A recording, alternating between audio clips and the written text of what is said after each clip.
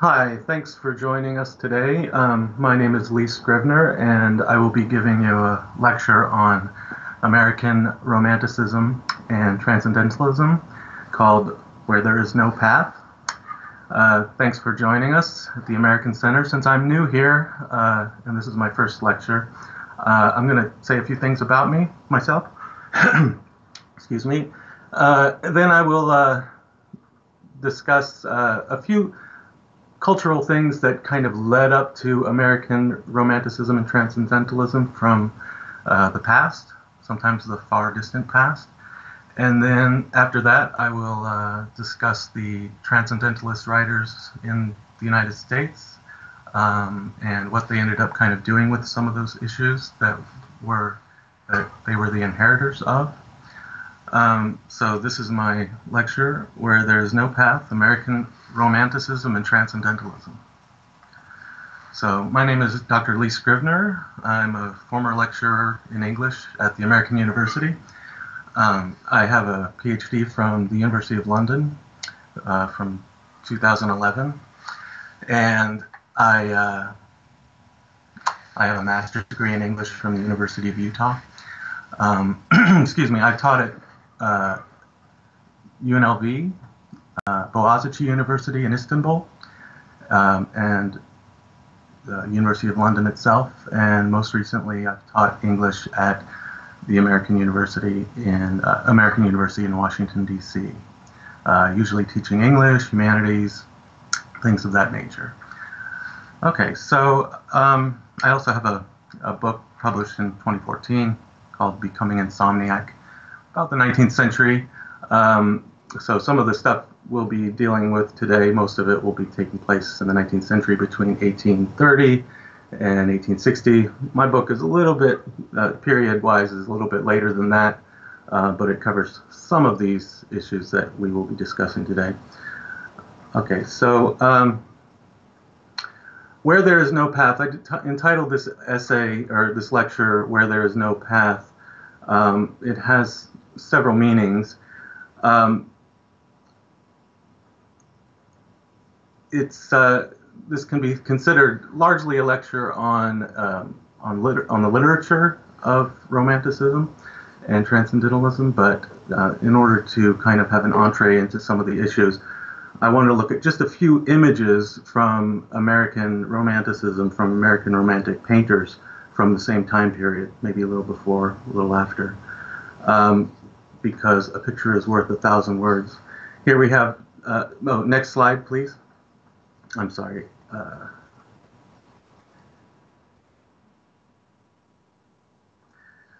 so, next slide. Uh, we have Thomas Cole's Lake with Dead Trees from 1825. Uh, as you can see from this image, the United States at this period is still in large part a trackless wilderness. Um, there is this experience, if you can imagine uh, settlers coming to the New World, um, were confronted by this wilderness leading off into the west uh, as far as the eye can see, and they still actually didn't know to some extent when that, or where that, uh, when the settlers, pioneers first started entering that wilderness um, as they headed west. Uh, I think the, the West and the United States maybe connotes a little, I can't be the first person to say this, but uh, kind of connotes something a little bit, has the same kind of significance as the East does for uh, Russians. Uh, the east of Russia being less settled. Uh, for certainly, it was the case. I'm actually getting kind of a lot of sun in here. Let me just. the sun just kind of poured through the window. Sorry about that. Um, anyway, the the east for Russia is, uh, probably has some of the same resonances as the west, kind of the western United States does for uh, Americans. So uh, certainly, when Americans first stumbled upon this new land it was very evocative for them, and uh, it almost brought uh, it brought out of them uh, very ancient sentiments that equated um, there being no path with a uh,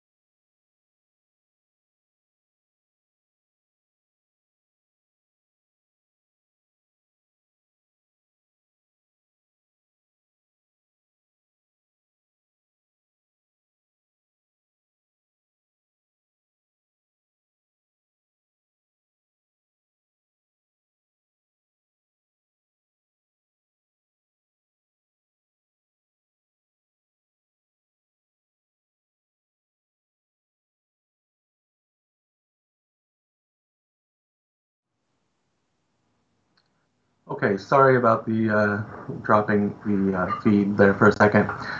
Um, so as I was saying, in art, um, so when the settlers first came and confronted this new land, they saw they saw or they felt that uh, it, it, evoked in them a, a an old uh, connotation between spiritual discovery and seeking uh, new lands in uncharted territories, and this goes back to the Arthurian myths, where they uh, the if those who sought the Holy Grail wouldn't be able to find it unless they went into a land that had been uh, that had not been traveled before. So if you were a uh, if you were following someone else's path, you would not be on your path. So it really speaks to American individualism that um, that everyone needs to kind of find spirituality by seeking their own path. So when Americans first came and saw this pathless wilderness, to a large extent, they felt like um, this this really kind of resonates with me and my sense of spiritual discovery, and it just reinforced some of those priors. Um, okay, next slide.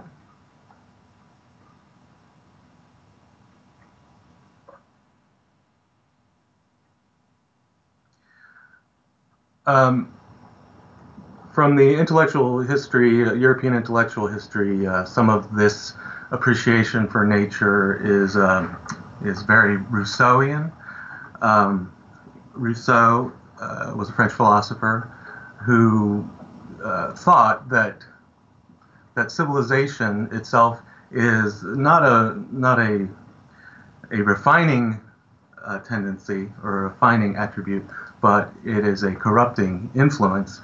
And so for Rousseau, those who lived closest closest to nature uh, would be closer to purity, um, um, that the state of nature was innocent, and that people were at their best when they were uncorrupted by the unnaturalness of civilization. Okay, next slide. Now, this can be uh, contrasted with a thinker like the English philosopher Thomas Hobbes, who conversely thought that nature, man in his natural state was um, was having a tough go of it, and only through nature, or only through civilization uh, and uh, a political state, and uh, the political state that a, a, civilization would lend itself to create, uh, that uh, humans could kind of rise above uh, what he called uh, the war of all against all, or bellum omnia contra omnes. Uh, so, so Hobbes and Rousseau are kind of in contrast in that sense, where Hobbes believed that uh, nature was brutish, and only through civilization could you be refined into something a little bit more stable and workable.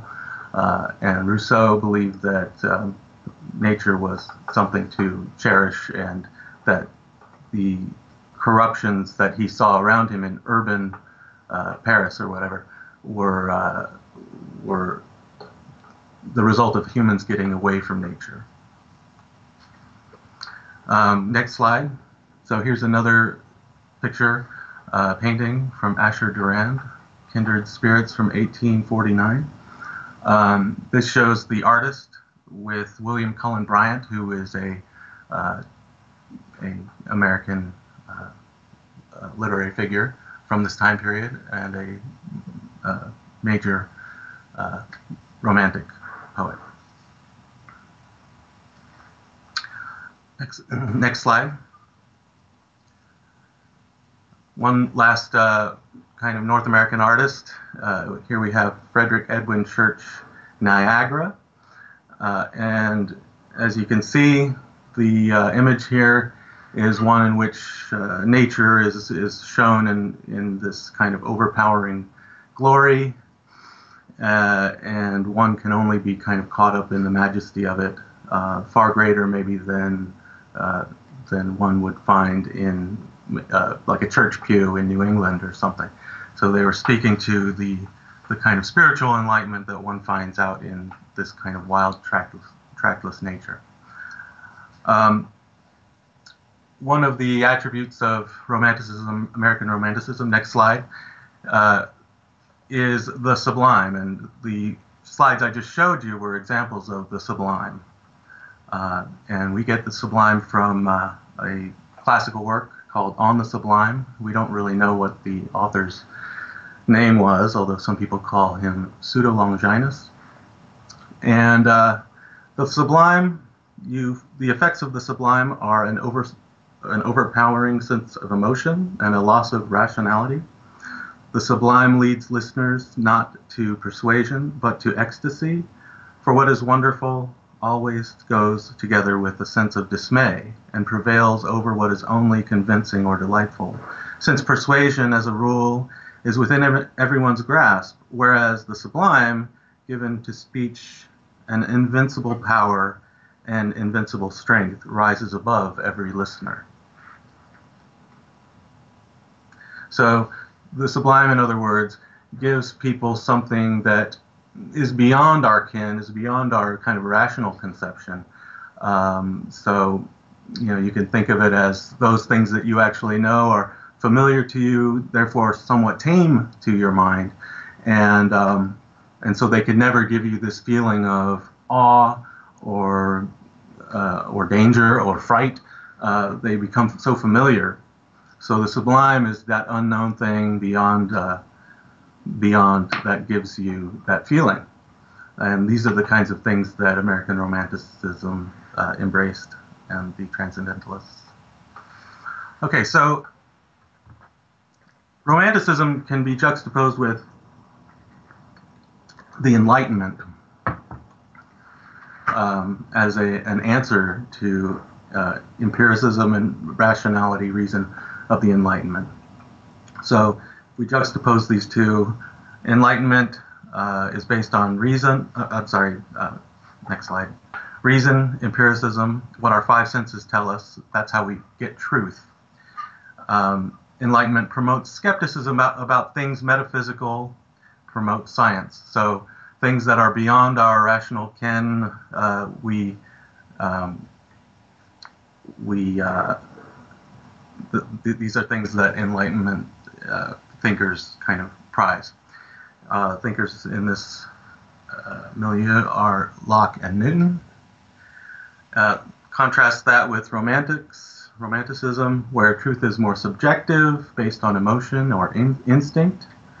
They embrace the metaphysical, the unexplained, the unknown, as I was just saying, and Goethe, Shelley, Keats are some of the European models that preceded our kind of main transcendentalist writers by about a generation. Okay. Next slide. Now, uh, Romanticism in North America was also a response to English Puritanism. Um, you know, obviously, it's kind of interesting that those things that that I was just describing about how uh, the American uh, thinkers wanted to go beyond, um, you know, the, the normally or the well-trodden path into the wilderness.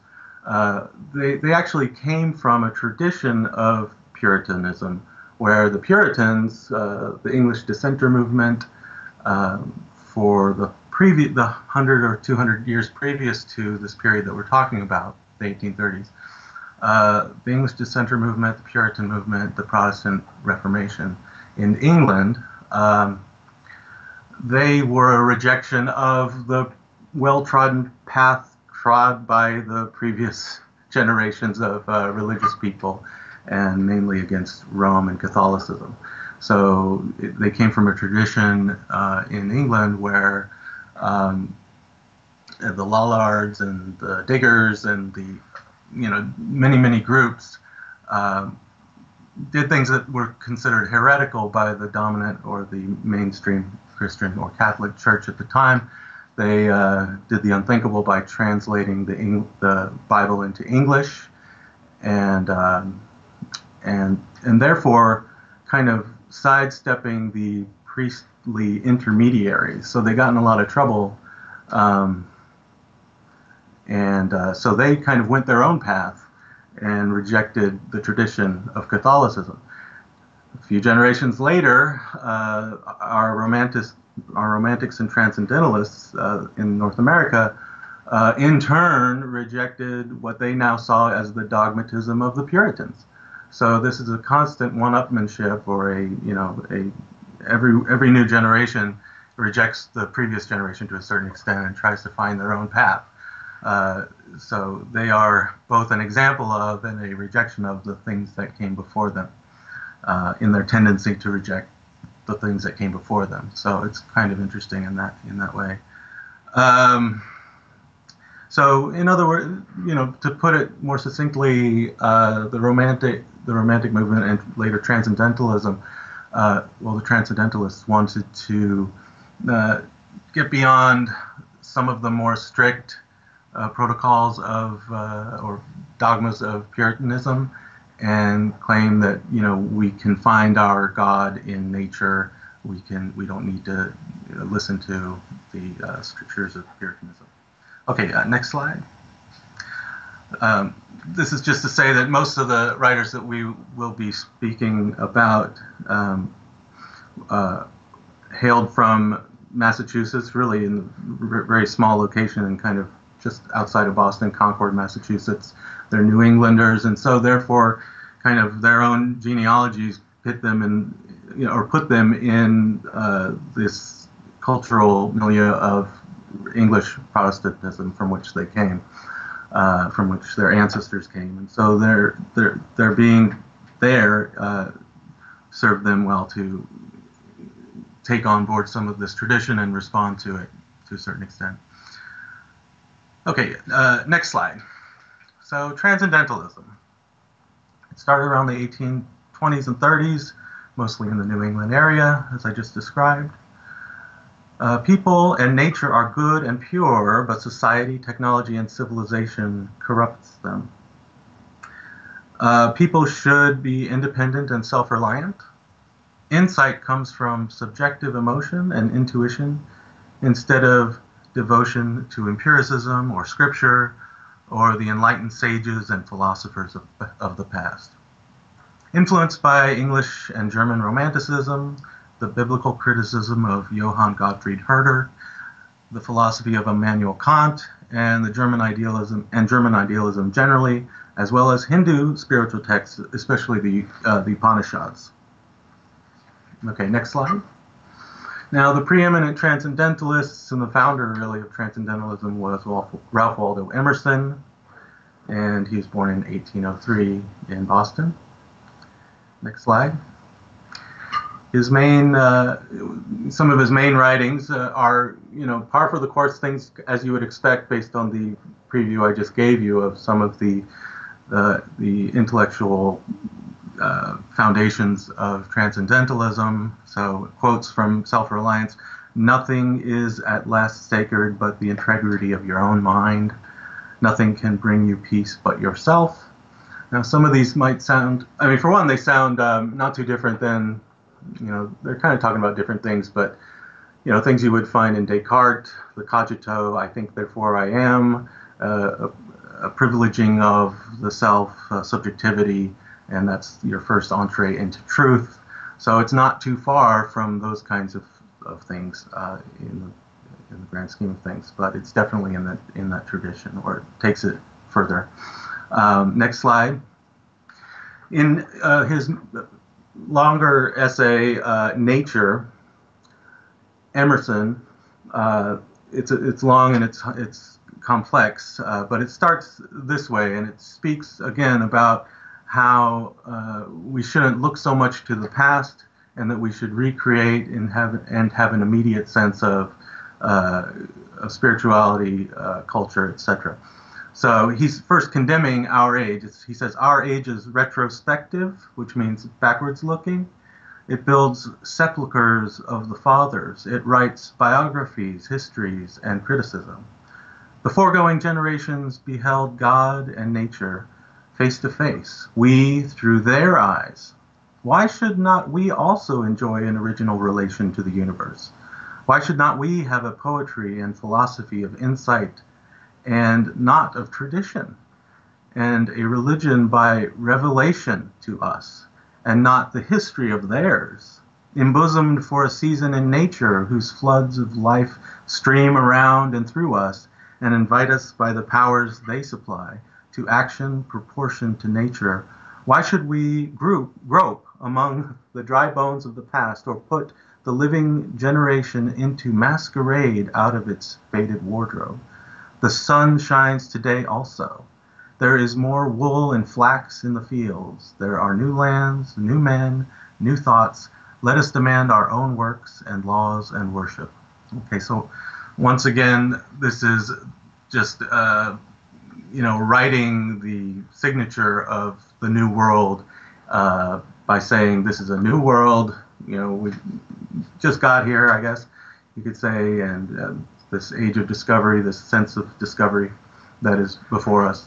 Uh, he's kind of writing that, and to a certain extent, rejecting uh, what came before. Uh, this is st- stated even more explicitly in American Scholar. Next slide. In 1837.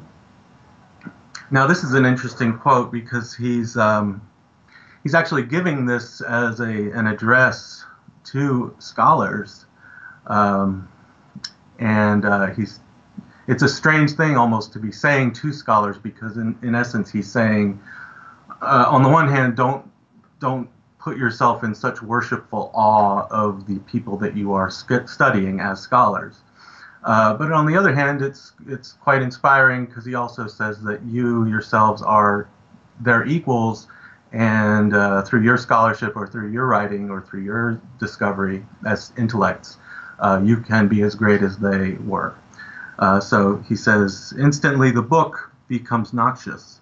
The guide is tyrant. So the, the book, the guide of, of past thinkers, uh, can be a tyrant to us if it doesn't let us grow and we just passively accept things that they say. The sluggish and perverted mind of the multitude, slow to open to the incursions of reason, have once so opened, having received this book, stands upon it and makes an outcry if it is disparaged. Colleges are built on it. Books are written on it by thinkers, not by man thinking, by men of talent, that is, who start wrong, who set out from accepted dogmas, not from their own sight of principle. And here's the kind of famous quote Meek young minds grow up in libraries, believing it their duty to accept views which Cicero, which Locke, which Bacon have given, forgetful that Cicero, Locke, and Bacon were only young men in libraries when they wrote these books. Okay, next slide.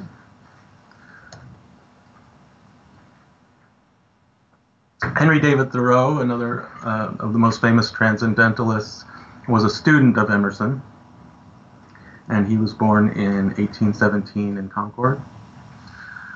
And uh, I'm just going to, next slide, I'm just going to show you a, uh, a poem that he wrote called Rumors from an Aeolian Harp. Um, you know, and like I said, so the American Romanticists and Transcendentalists were drawing heavily from their uh, European and English uh, counterparts. Um, so Samuel Taylor Coleridge, a famous English Romantic poet, had a poem called The Aeolian Harp. This, uh, you know, obviously the same topic, um, and similar sentiment. So let's see where this goes. There is a vale, which is a valley, which none hath seen, where foot of man has never been, such as here lives with toil and strife, an anxious and a sinful life.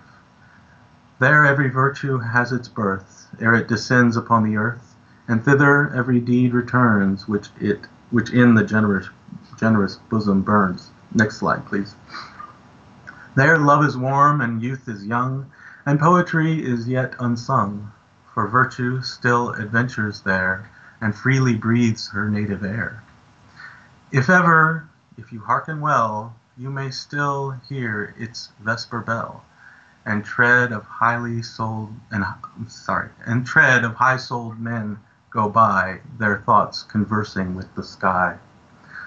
Okay, well, um, to really understand where this poem's going or what it's doing, uh, obviously you need to know what an Aeolian harp is, and I assume many do, but for those who, who do not, an Aeolian harp is a harp, much like you see the one in the picture, um, and it is uh, not really to be touched or played by the human hand. It's to be um, it's to be played by the wind. So the wind blows against the strings, um, kind of like a wind chime, resonates the strings, and the you can hear the strings vibrate and resonate. And this is the music of the wind, literally. Uh, now, interestingly, I guess for one who thinks that you know we should give ourselves up to nature, this is like, hey, don't. The sense of this is, you know, don't even play music. Just sit there and listen to Mother Nature herself play this music. Um, it is kind of interesting, though. I thought um, how it's almost antithetical, though, to this idea that humans, that you know, some transcendentalists like Emerson, um, you know, believed, maintained that humans are naturally good, or nature, or humans are by nature good. However, uh, most things that humans do end up being corruption. So civilization itself is a human achievement, but it, is, it can also corrupt, or it can lead to corruption. And this Aeolian harp, I mean, as beautiful as it is, and as beautiful as the idea is, it seems like almost there's a sense in which, uh, you know, humans do not touch the harp. You're tainted. You're evil. That's where the, the problem lies. You know, let the na- let nature play the harp. Uh, don't get involved because you're just going to mess it up. Uh, you know, that might be taking it too far. But uh, so while transcendentalism often puts man as a, a pure, uh, well-intended, uh, you know, actor in the world, some of these some of this poetry is so pro nature that man ends up being kind of almost an antagonist to that. Um, so anyway, uh, I guess next slide. Most famously, Thoreau is uh, the author of Life in the Woods or Walden. And uh, he lived in, okay, so he was a resident of Concord and he decided, well, I really, you know, I, my appreciation is na- for nature is so great that I'm going to put my, uh, you know, live up to my what I claim, uh, and and actually live in the forest for two and a, two years and two months. So he went to the forest and built a cabin uh, kind of far away from his fellows, and uh, in that time wrote uh, what became his book Walden, Life in the Woods. And it's full of these kinds of uh, sentiments. We need the tonic of wildness. At the same time that we are earnest to explore and learn all things, we require that all things be mysterious and unexplorable. That land and sea be indefinitely wild, unsurveyed, and unfathomed by us because unfathom, uh, unfathomable. Sorry, English. We can never have enough of nature. Okay. Uh, Margaret Fuller was another major transcendentalist, born in 1810, a colleague and a friend of uh, Thoreau and Emerson. Um, she is she died tragically before her time in uh, a shipwreck just 50 miles from shore off the coast of uh, New York. Uh, next slide. Uh, one of her major works is called Summer on the Lakes, and this is a uh, an account of her journey to the Great Lakes region, which at the time was very unsettled, so it was very wild uh, the Great Lakes region, Lake Superior, uh, what is now you know Chicago, just north of that area, uh, Michigan. And uh, the, the book presented a sympathetic portrayal of nature and Native Americans, including members of the Ottawa and Chippewa tribes. So she actually, you know, she spent time among these tribes, and it was a sympathetic portrayal of, of them. Uh, and uh, next slide. Uh, to a certain extent, this may have uh, influenced uh, Henry Wadsworth Longfellow's decision to visit some of that same area. So he visited uh, Lake Superior and wrote Song of Hiawatha, which is uh, again has a similar, similarly positive or sympathetic portrayal of the Native American tribes in that region. Um, some people, first of all, uh, Fuller and Longfellow were um, actually, Fuller was also a literary critic and reviewed Longfellow, some of Longfellow's work. And uh, she did not really like Longfellow too much. Um, but needless to say, Longfellow followed her in some of her interests. And uh, so this was published 1855 after Fuller had already died. Um, some people say that uh, that it's a little bit uh, sentimental and um, maybe depicts Native Americans in a in a light that had already passed, um, an anachronistic light, uh, because they by that time were not, you know, purely antithetical to kind of Western civilization as they may have been when first meeting the new settlers. Uh, so they, you know, many Native Americans lived in towns and, and things like that. So this was maybe an anachronistic or sentimental portrayal of Native Americans. So he received some criticism for those kinds of things. Uh, nonetheless, it could have been seen as a, uh, a tribute to Native Americans and the, the waste in that part of the country. Okay, next slide. Okay, Herman Melville, uh, another romantic, not necessarily a transcendentalist writer, but uh, born in 1819, or not a member necessarily of the uh, transcendentalist community. Um, but he's most famous for Moby Dick. Next slide. So, Romanticism. Um, he dedicated Moby Dick to Hawthorne, who we'll talk about in a few minutes. Uh, Moby Dick, it's an immense book, considered an American classic, uh, you know, one of the mainstay novels in American literature. Uh, and it's extremely hard to kind of put in, in a nutshell, but I will just read that uh, biographer Laurie Robertson Lorant uh, sees epistemology as the book's theme. Ishmael, who's the main character, uh, his taxonomy of whales demonstrates the limitations of scientific knowledge and the impossibility of achieving certainty. Uh, she also contrasts Ishmael and Ahab's attitudes towards life with Ishmael's open minded and meditative uh, polypositional stance as antithetical to Ahab's monomania, adhering to dogmatic rigidity. To, so, to a certain extent, Ishmael might represent something like the romantic or the transcendentalist Whereas Ahab, Captain Ahab, who happens to be on this quest to find this and kill this whale, uh, is the the more rigid and do- dogmatic individual that uh, Romanticism contrasts with. Okay, next slide. Uh, finally, we have Nathaniel Hawthorne. Um, just some editorializing. He happens to be my favorite of the writers from this period. Um, he was born. Next slide. He was born in this slide. He was born in uh, 1804 in Salem, Massachusetts. And some of his, most of his writing is uh, it's romantic.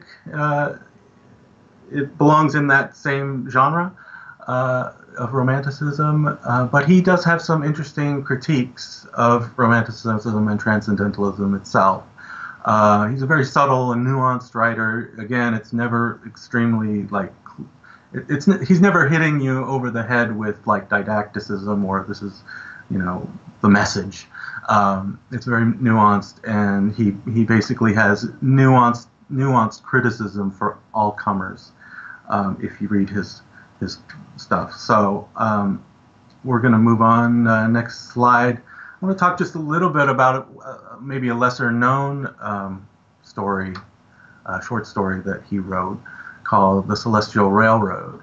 And it is a it is a parody of John Bunyan's Pilgrim, Pilgrim's Progress, which again is an answer to Pilgrim's Progress being a, uh, a work of Puritanism.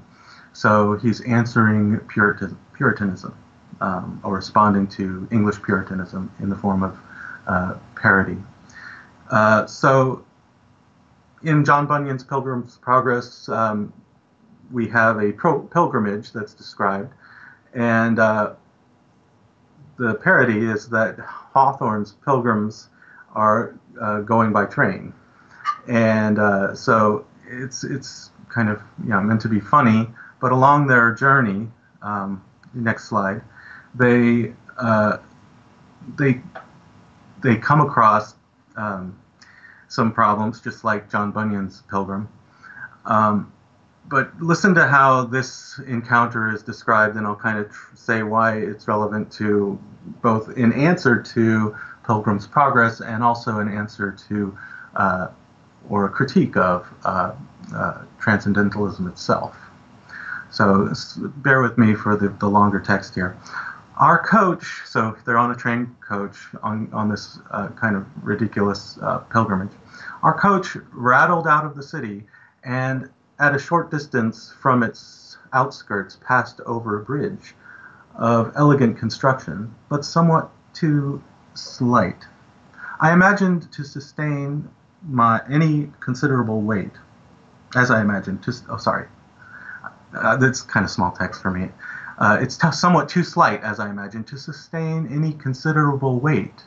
Both sides, on both sides, lay an extensive quagmire, which could not have been more disagreeable either to sight or smell, and had all the kennels of earth emptied their pollution there.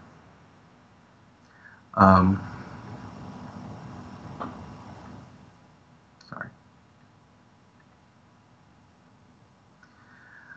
This, remarked uh, Mr. Smooth It Away, who was his guide, is the famous Slough of Despond, a disgrace to all the neighborhood, and the greater that it might be that it might so easily be converted into firm ground.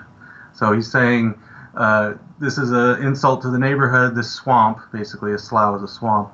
Uh, it's it's a disgusting place, and all the worse because it could easily be made firm ground. Um, I have understood, said I, that efforts have been made for that purpose from time immemorial. Bunyan, John Bunyan, uh, writer of Pilgrim's Progress, mentions that above 20,000 cartloads of wholesome instructions have been thrown in there without effect. Very probably. And what effect, uh, next slide, and what effect could be anticipated from such unsubstantial stuff, cried Mr. Smooth It Away. You observe this convenient bridge, we obtained a sufficient foundation for it by throwing into the slough some editions of books of morality, volumes of French philosophy and German rationalism, tracts, sermons, and essays of modern clergymen, extracts from Plato, Confucius, and various Hindu sages, together with a few ingenious commentaries upon texts of Scripture, all of which, by some scientific process, have been converted into a mass like granite the whole bog might be filled up with similar matter.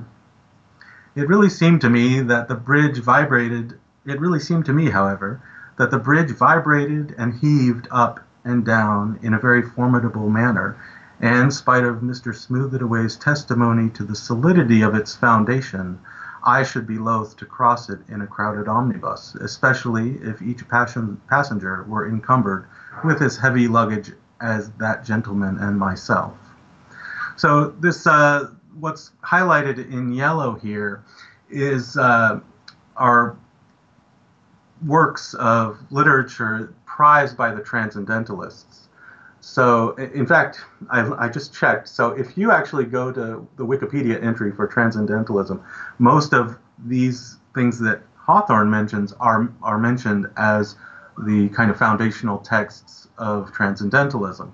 Uh, Hindu and as I described earlier, they were interested in Hindu writings in the Upanishads, um, German rationalism, ger- I'm sorry, German uh, Enlightenment thinkers, um, and uh, and idealism and uh, Goethe, etc. So he's he's basically saying that I think he's saying that uh, the the the train that's making this journey is maybe transcendentalists themselves, and they are assuming they can make as much or more progress uh, towards enlightenment as their predecessors did by these new texts. And he's saying, well, you know, if you're if you're as beholden to these new texts, uh, it can be they can be just as useless as as the older texts that you used to rely on. Um, okay, next slide. So the, the train goes a little bit further, and the passengers being all comfortably seated, now we rattled away merrily, accomplishing a greater distance in 10 minutes than Christian, the main character in Pilgrim's Progress, probably trudged over in a day. It was laughable while we glanced along, as it were, at the tail of a thunderbolt to observe two dusty foot travelers, old in old pilgrim guise with cockle shell and staff, their mystic rolls of parchment in their hands, and their intolerable burthens on their backs the preposterous ob- obstinacy of these honest people in persisting to groan and stumble along the difficult pathway rather than take advantage of modern improvements excited great mirth among our wiser brotherhood.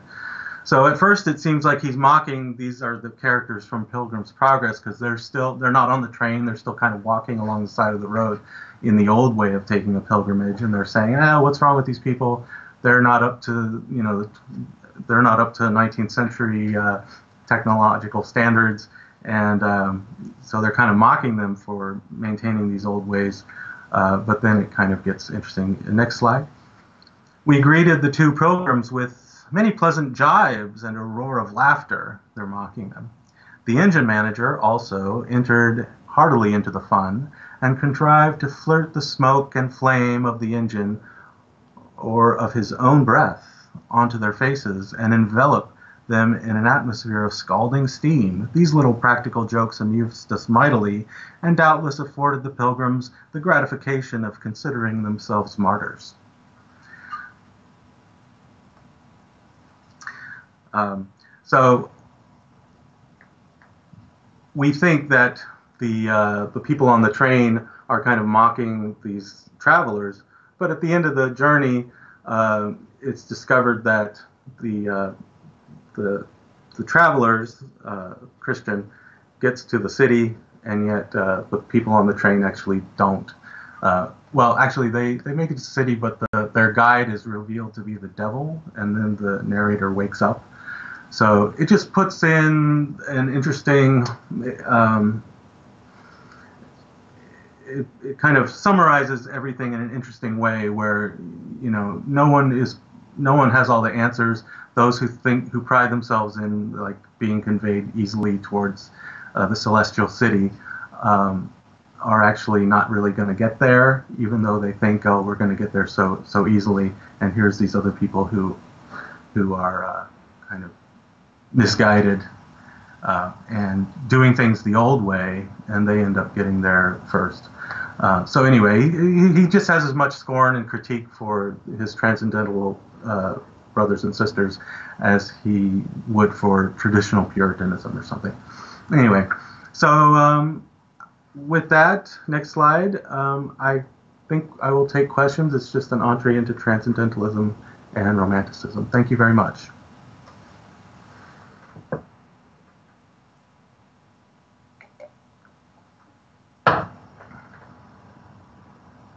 Um, let's see, I, I don't know if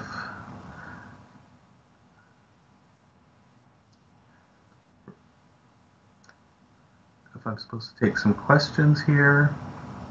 Hmm.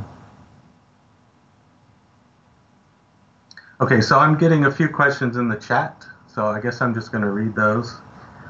Um, someone says, I'm not very well versed in American literature and would like to know which American poet you consider to be the most famous romantic.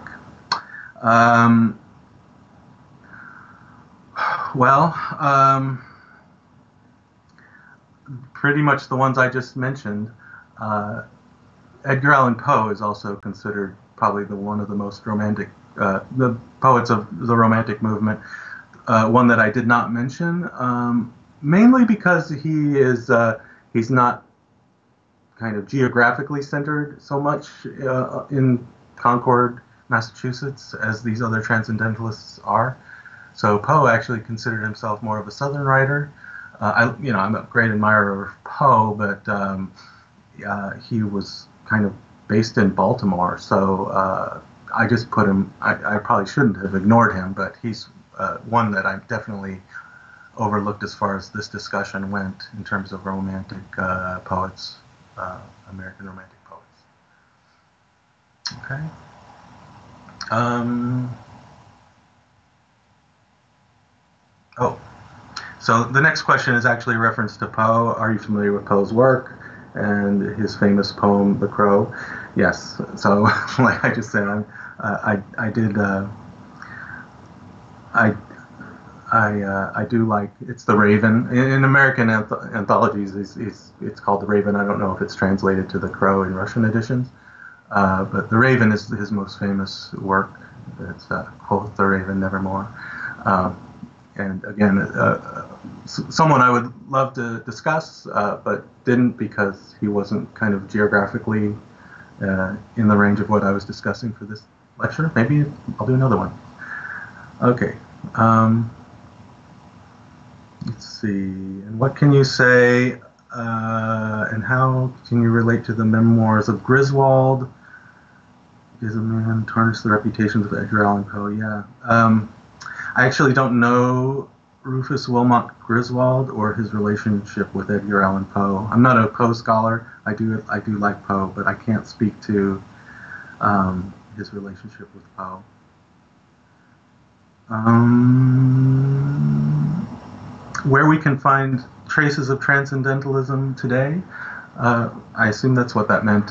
Uh, if we look for traces of transcendentalism, um, oh, it survives everywhere. This idea that you, you can get back to nature. Certainly in the 1960s, uh, there was this rebirth of kind of romanticism, transcendentalism. They probably didn't call it that, but uh, people would go out in nature. Uh, B.F. Skinner wrote a book called Walden Two. Um, I've never actually read it, so I don't know if it's if it's exactly what I think it's about. But uh, it's people it, it, during that period. Um, the idea of uh, leaving behind society and discovering a new world for yourself out in nature. It's always been very attractive to a lot of people.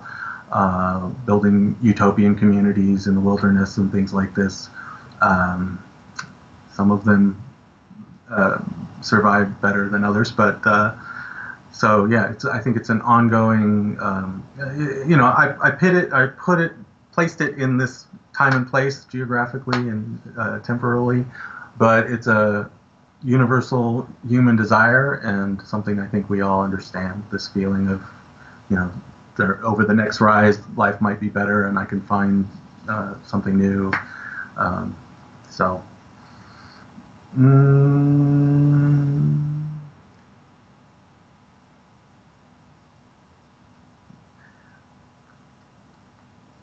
can you advise further reading on Herman Melville uh, and his work Moby Dick?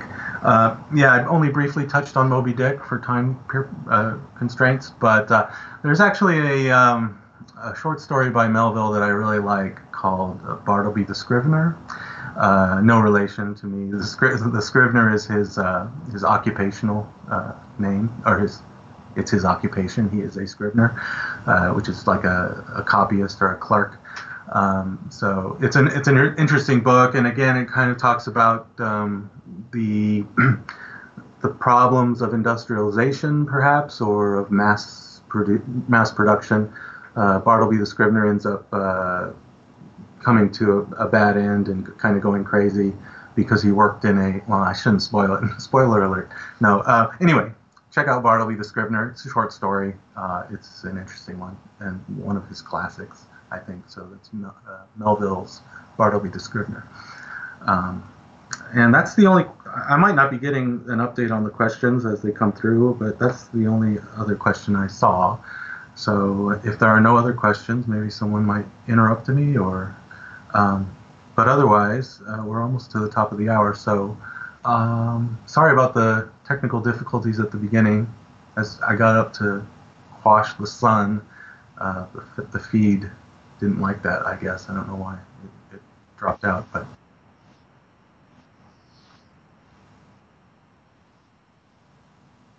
Okay, Dasha, thank you, Professor Scrivner, for your lecture. Can we find the influence of transcendentalism in Russian literature? Uh, you know, that's a good question. I sadly am not as familiar with Russian literature as I would like to be. So, um, but I am sure someone can probably uh, shed their expertise either in the chat or for in some other means on some of these issues as they arise in Russian literature. Um, I'm, I'm kind of coming to a brain freeze right now, so uh, um, so I'm sure you could find some, but I don't. None are coming to mind at the moment. So thank you very much. I should have probably uh, figured that out before coming on today. Um, maybe next time. So thank you very much. Okay, well, thank you very much for having me at the American Center. Um, I enjoyed myself immensely today, and uh, uh, thank you for all your questions. And um, uh, thank you. I'll talk to you next time.